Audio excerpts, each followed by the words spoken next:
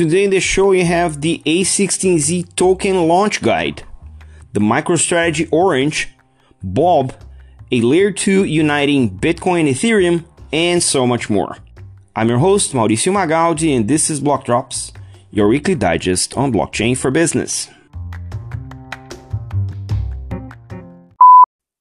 These news are not a form of endorsement, sponsorship, or encouragement for consumption and are meant for educational purposes only.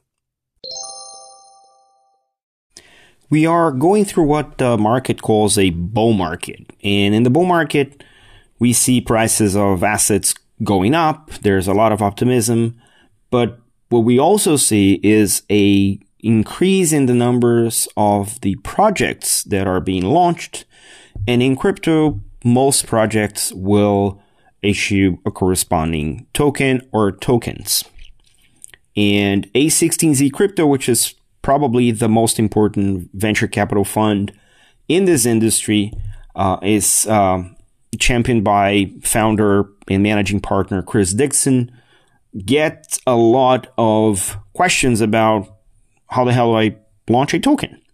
So A16Z, being who they are, put together not one, not two, not three, but four different guides across the board for projects that are trying to launch a token and what they need to take into account. So the first one is, and I, I, I read this, you know, by and large, um, and and uh, I'm not going to read through, but I'll, I'll, point out what these things talk about and, and, and why they're important. So the first one is called how how to navigate token launch risks. So it's a risk uh, led approach. So they go through legal, commercial, and operational risks, and they propose three strategies to deal with these risks. The first is to decentralize. So the more you can decentralize a project, the less these risks are going to appear. Uh, they offer an angle of progressive decentralization until you reach a sufficient decentralization. Um, so this is the first approach. Second approach is to exclude. Exclude mostly jurisdictions where tokens are going to see be seen as a problem. Obviously, the U.S. is the prominent one, so you might want to steer clear of it. And the third one is kind of in between, which is restrict, minimize the exposure you're going to have for that particular uh, jurisdiction. Then the next one is getting ready to launch a token. What you need to know they cover product market fit. Um, they propose an actionable plan for decentralization, how to model the economy of the token so it's compelling to users and to investors, um, how to set up a robust organizational structure, and how to get ready to launch the token. Then the third guide is called the operational guidelines for token launches from creation to custody. And here they approach how to build and establish relationship with custodians, how to run security audits, uh, the importance of distribution of the tokens and allocation, the enforcement of lockups for early investors so they don't run away with the token and dump everything on the market, and enabling staking and governance through the use of the token as well. And the fourth one is five rules for token launches. And these are the five rules. Never publicly sell tokens in the US for fundraising purposes. That's one. Rule two, make decentralization the North Star. Rule three, communication is everything. Govern yourself accordingly. Rule four, be careful about secondary market listings and liquidity. And five, always make token lockup supply for at least one year from token launch to preserve the value. So pretty interesting and coming from what would be arguably the fund that has launched the most tokens in the recent past. So they're they're not kidding. They have one of my favorite lawyers. Yes, I have favorite lawyers.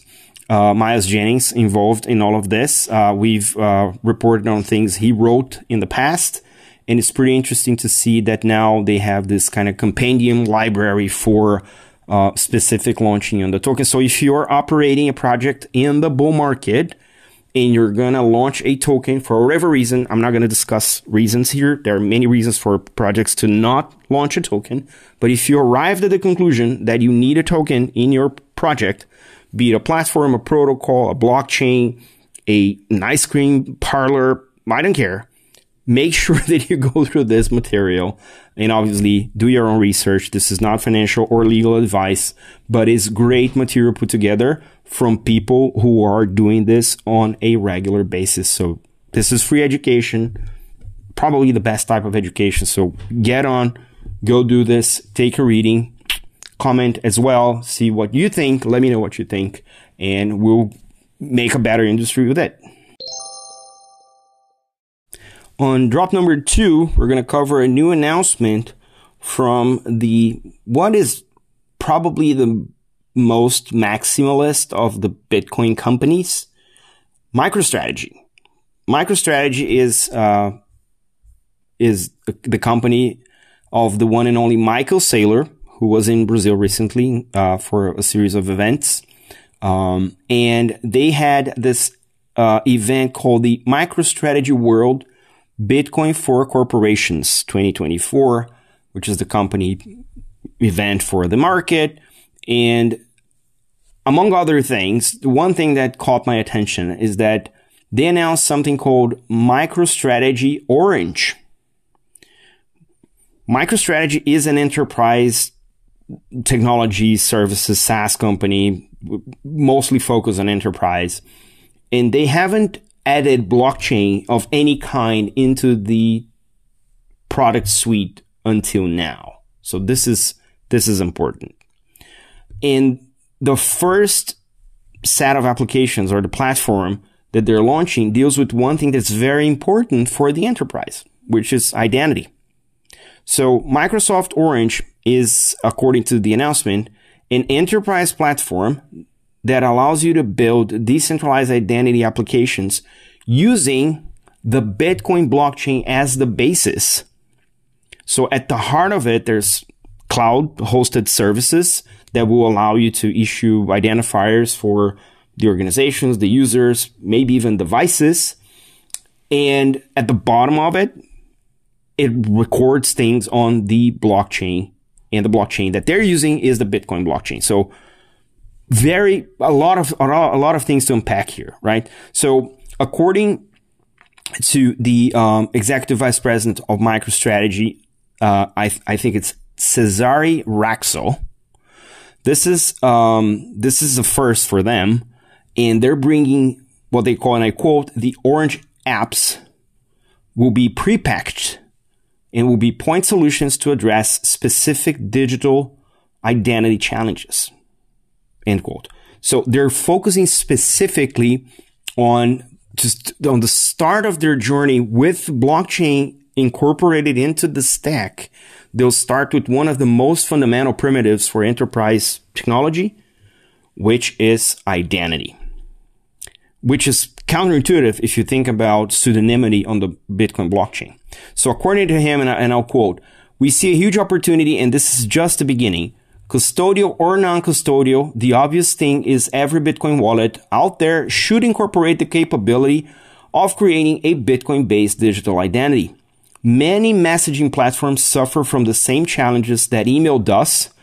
When you get a text message, how do you know the person who sent you the text message? We would want to include an orange check for these different messaging platforms. End quote. So the announcement also lists a few things that are, I think are interesting. So they're going to bring in ecosystem for issuance of verifiable credentials. There are many standards in the industry and, and across industries. So they're going to bring ecosystem to issue verifiable credentials using MicroStrategy Orange. They're going to support Bitcoin applications, but they list enterprise applications, messaging platforms, social media networks, e-commerce applications and fintech applications as targets to deploy MicroStrategy Orange in the context of uh, identity management, digital identity um, management.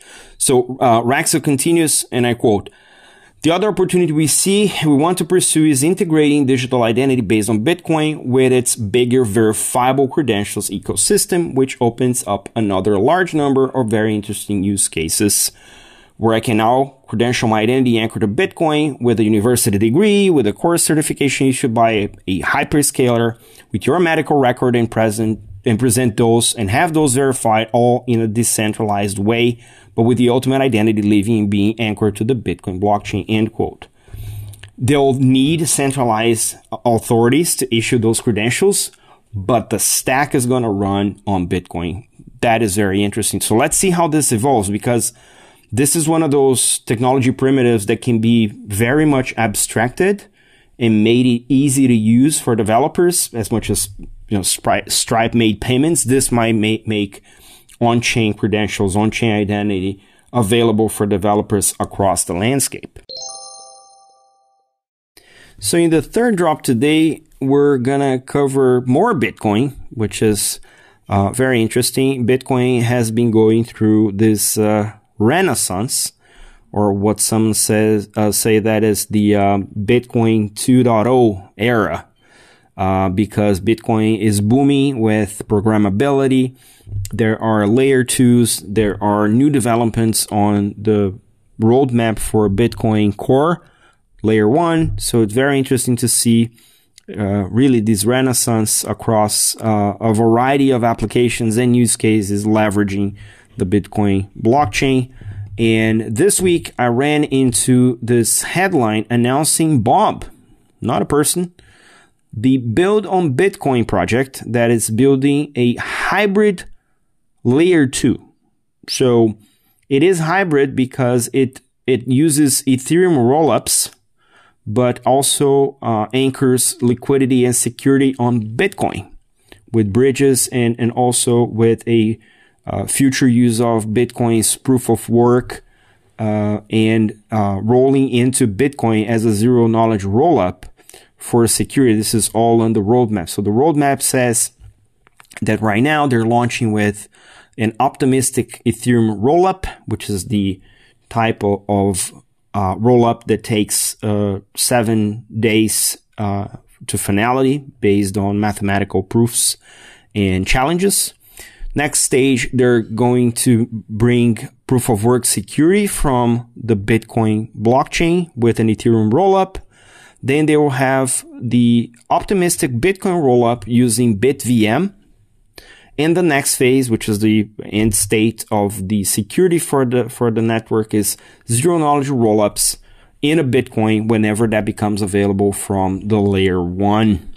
Very interesting approach to both market and to uh, the technology, to the security. According to Bob's co-founder Alexei Zamyatin, uh, and I quote, we currently work with two leading Bitcoin bridges uh, while working on our bridge infrastructure in parallel.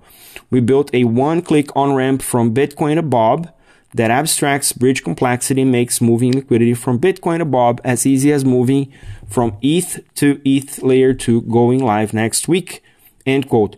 Interesting. They're focusing on interoperability and user experience, which is very important for early stage adoption. They are focusing on the DeFi space right now. They launched with $300 million in TVL, meaning total value locked. Uh, and they have over 40 applications already running on chain, mostly on DeFi, but on other things, including wallets and uh, bridges as well. They continue, and I quote, connecting to Ethereum follows a pragmatic rollout approach. Bitcoin rollups do not yet work, but the demand is high. Bitcoin users need access to stablecoins and DeFi. Ethereum users want to use their Bitcoin and get access to ordinals, runes, and BRC20s, uh, end quote. BRC20s, if you don't recall, are the fungible tokens, programmable fungible tokens on Bitcoin that behave much like the ERC20 counterparts on Ethereum. So they are trying to uh, bring that into Bob. So they're blending the technologies that made layer 2s possible on Ethereum with Bitcoin and drawing security from Bitcoin while drawing assets from both sides, which is very, very interesting approach. According to their uh, technical documents, the architecture comprises an SDK, the software development kit, the bridges, as they said. There's a Rust ZK EVM That will be the integration for the Bitcoin Rust stack and the ZK rollups in a Bitcoin. Right now, they're using an EVM virtual machine core from Ethereum for smart contracts and wallets and infrastructure and tooling. And they have a rollup layer for Bitcoin security and bridging Ethereum native assets. I think this is incredible. I think this is very interesting. We're going to see a lot of things coming out of Bitcoin and hopefully we'll see, uh, as I said, UX coming in first because we do need better UX at the protocol level.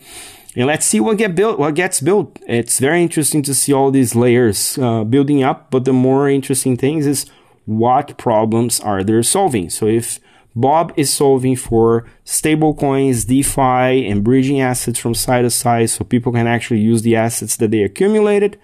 That's already uh, an indication of where they're going to head with the rest of the features on the chain.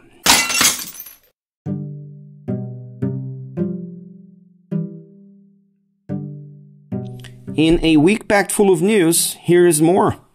Football club Manchester City is partnering with crypto exchange OKX to launch Unseen City shirts, an NFT collection which is free and limited edition of the football club's jerseys.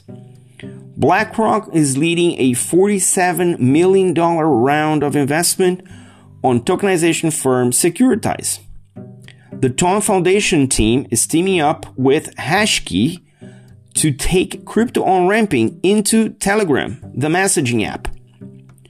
Blockchain Layer 1, Sui is partnering with Google Cloud to take data driven insights, AI powered development tools, and zero knowledge proofs to the hands of the chain's developers. There is a hackathon by the LUMX team with almost $20,000 in total rewards. Get signed up. Telefonica announced that they're partnering with Meta, Qualcomm, and 10 startups in a new push towards the metaverse. MoonPay, the on-ramping company, is now offering their users to buy crypto, sourcing the funding through the pay the PayPal wallet. Block, the parent company for uh, Square, released a manual called the Bitcoin Blueprint for corporate balance sheets. Now you can take Bitcoin to your company with the help of Block. Tether the um, the issuers of the USDT stablecoin, dollar stablecoin, entered a partnership with Chainalysis for transaction surveillance in a bid to respond to the amounting regulatory pressure.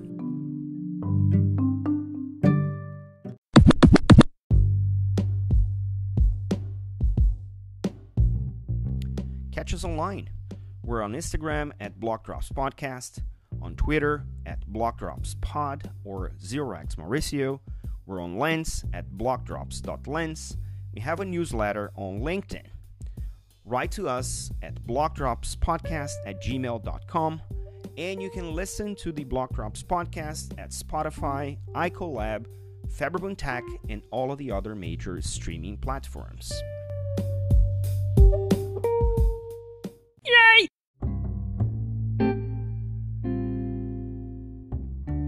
Shoutouts today to the people who share the links you will find in the episode notes Anthony Day, Chris Dixon, Michael Williams, Rita Martins, Paul Brody, Luigi Tillier, Carlos Arena, Caio Barbosa, Eduardo Viegas, and Ivan Soto Wright. Shout out also to the now 5,000 plus subscribers of our LinkedIn newsletter. If you're not there yet, do subscribe. The link is also in the show's description. Don't forget to leave the ratings on your favorite player. This is all for today. Stay rare, stay weird. LFG.